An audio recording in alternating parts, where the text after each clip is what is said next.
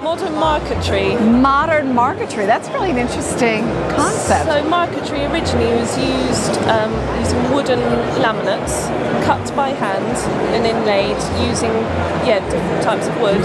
But I've used a modern material Formica. It's a man-made, durable man-made, durable product and very colorful. Exactly.